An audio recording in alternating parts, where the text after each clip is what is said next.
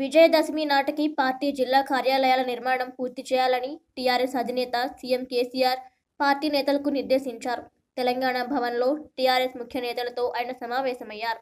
ఈ సందర్భంగా జిల్లా కార్యాలయాల నిర్మాణం పార్టీ సభ్యత్వ నమోదు తదితర అంశాలపై చర్చించారు.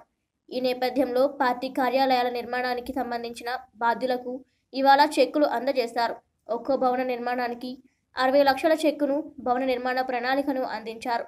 నిబంధనలు ఉల్లంఘించకుండా నిర్మాణం పూర్తి చేయాలని ఈ సందర్భంగా నేతలకు కేసీఆర్ సూచించారు. రాష్ట్ర వ్యాప్తంగా జరుగుతున్న సభ్యత్వ నమోదుపై ఆయన సంతృప్తి వ్యక్తం చేశారు. వీలైనంత త్వరగా దీన్ని పూర్తి చేయాలన్నారు.